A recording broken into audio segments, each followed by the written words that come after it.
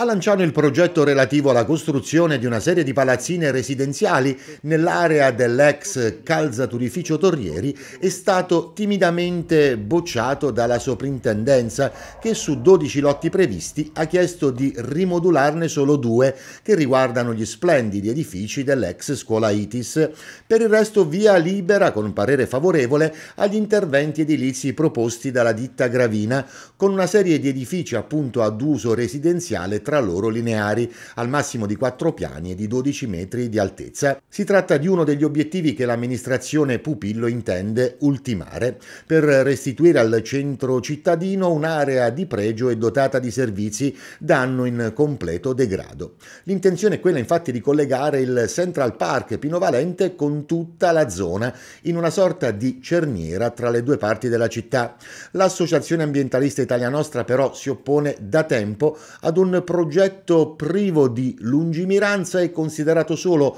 come mera speculazione edilizia. Il presidente della sezione di Lanciano, Pierluigi Vinciguerra. Pare che la sovrintendenza si sia risvegliata. Si sia risvegliata non so fino a che punto, perché eh, il, le proprie prescrizioni che ha dato e ha mandato in comune con dei documenti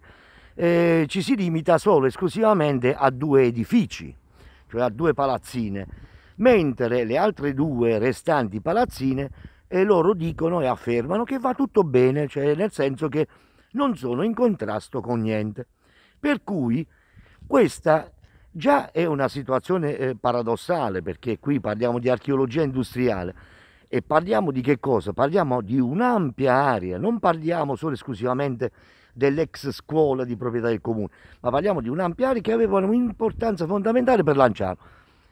e la sovrintendenza dice vabbè, intanto adesso eh, bisogna andare avanti, però eh, sotto la nostra egida e sotto il nostro controllo e quindi anche mm, in base a quello che loro pensano, eh, loro dovranno, cioè il comune e il progettista dovrebbe rivedere un po' tutta la situazione, ma soltanto per due edifici. Allora io dico una cosa, qui si sbaglia dall'inizio e quindi io non mi meraviglio più di niente, non mi meraviglio più di questa amministrazione comunale che ha fretta di, di chiudere tutto per dimostrare che cosa eh, loro sanno fare. Loro non sanno fare niente perché questa è la dimostrazione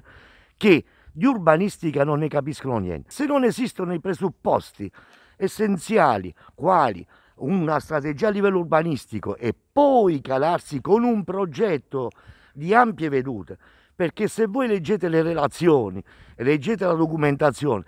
sono cose da, che fanno rabbrividire come possiamo noi andare avanti in questo paese. Oggi portiamo la mascherina, ma questi del comune di Lanciano, la mascherina se lo sono messi agli occhi,